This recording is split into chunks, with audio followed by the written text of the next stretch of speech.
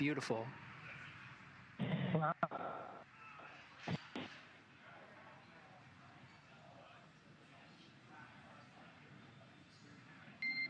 And Dragon, we've got you. Expect automated parachute deployment, and we have you on visual.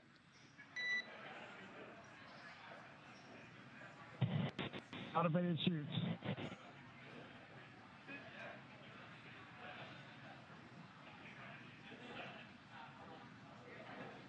Wonderful to hear from the crew on the other side of the blackout period, the WB-57 high altitude aircraft providing that thermal imaging. We saw the tail of the entry of the vehicle itself. Absolutely Dragon, beautiful. GPS converged. Expect nominal altitude for drogues. Copy GPS, nominal altitude.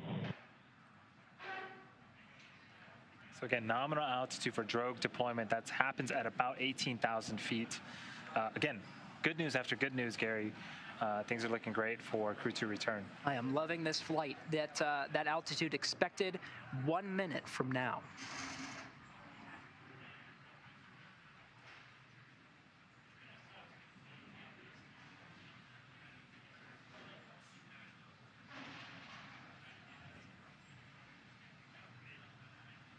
Right as anticipated, Andy. Dragon, brace for drogue window.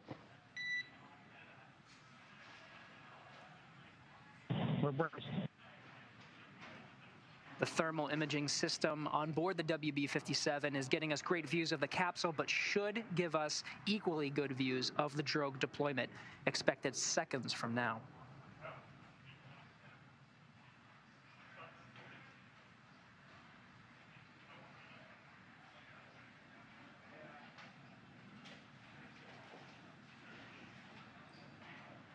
The capsule is traveling about 350 miles an hour, and the drogue chute's job is to slow it down to about 120.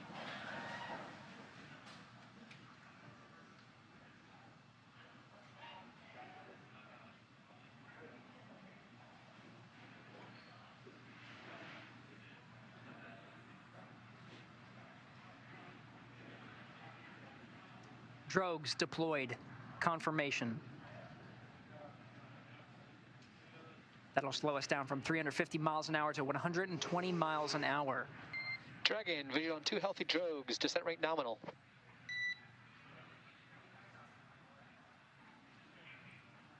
Copy, great news. So in about 30 seconds,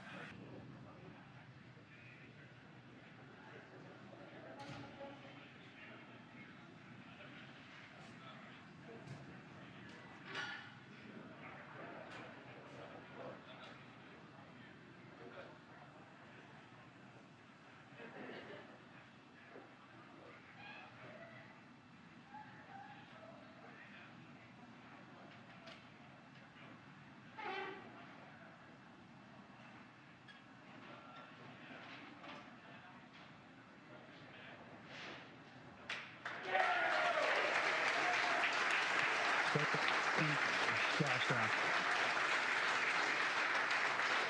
SpaceX C splashdown and mains release.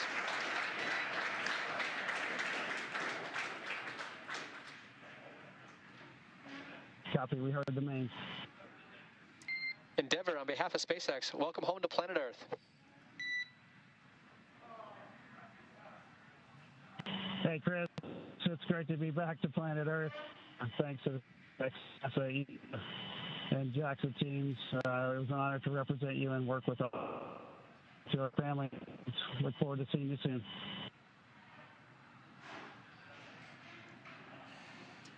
Splashdown confirmed at 7:33 p.m. Pacific, 10:33 p.m. Eastern Standard Time. Four astronauts of Crew 2, Shane Kimbrough, Megan McArthur, uh, Exploration, uh, Japan Aerospace Exploration Agency, all of them on board. Uh, truly an international, uh, government, and commercial joint effort to make something like this possible.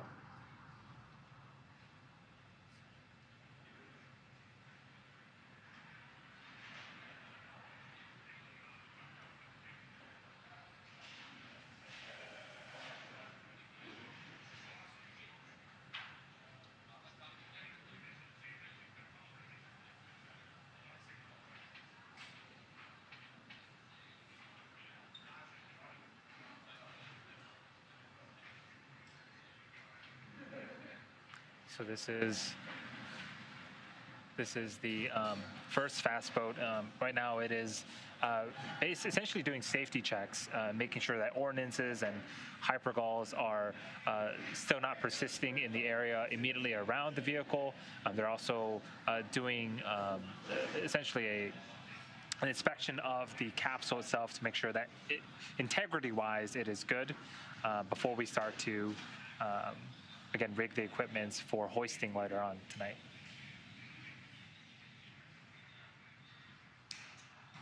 So again, it's it's going to take some time. We're shooting for less than an hour to bring the Dragon uh, Endeavour onto the recovery ship and to uh, open up the hatches and egress the crew or take them out and bring them onto the medical facilities. I can only imagine the views that were possible from right there in the Gulf of Mexico. Uh, let's see, we do have a call in from Leah Cheshier, uh, NASA Communications, who's on the Go Navigator recovery ship and was able to uh, crew uh, enters into the uh, um, Go Navigator vessel and, and does those medical checks. What are the next steps to get the crew uh, home, uh, either in Houston or in the European Space Agency? It is an incredibly expedite process. Uh, so the crew members, after they've completed those medical checks, they will board a helicopter right here on the boat uh, within just a couple of hours of splashing down. And once that takes off,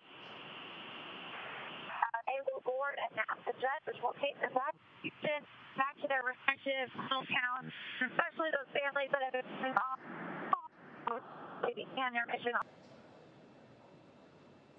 Dragon, SpaceX for status update. Go ahead, SpaceX. Rigging is complete. We're approximately five minutes until capsule lift. Copy.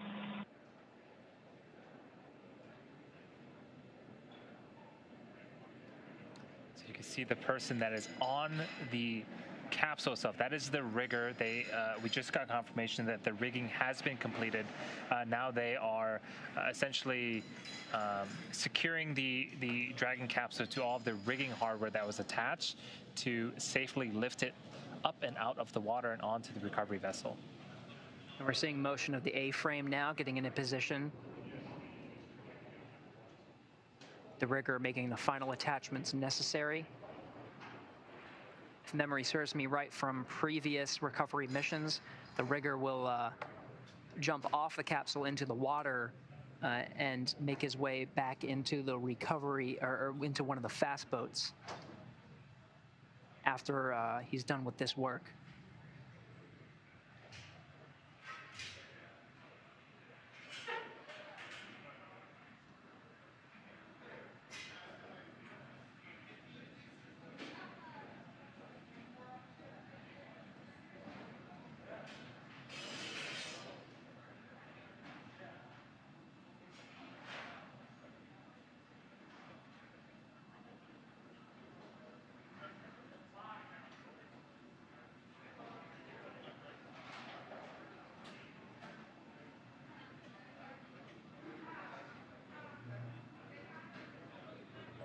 Dragon, SpaceX, brace for capsule lift. Copy, brace.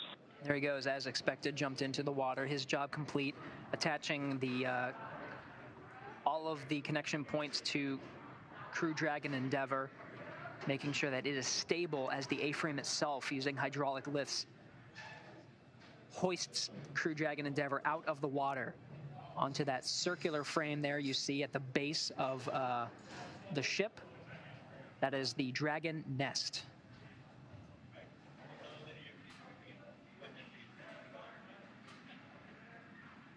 And Garrett, we are uh, in a in, in a slightly we're slightly ahead of schedule. We were expecting Dragon uh, lift to begin at L plus 38 minutes. It is L plus 30 minutes now. Uh, so things things continuing to go smoothly as part of Crew 2's uh, return and recovery. Seem to get better and more efficient with each mission.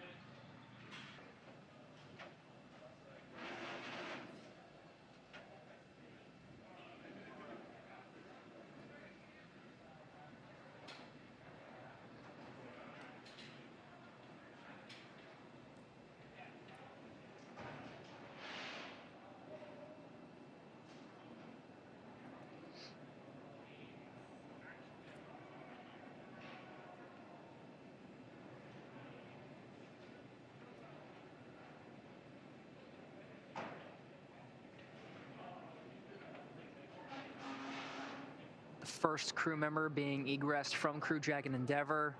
Got to witness some applause there from some of the recovery personnel as well.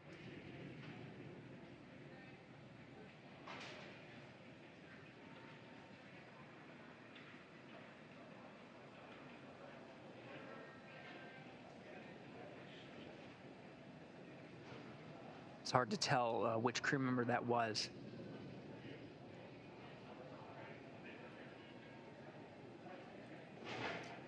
And we got confirmation that was Megan McArthur. Uh, that was the pilot of the Crew 2 mission, the first crew member egressed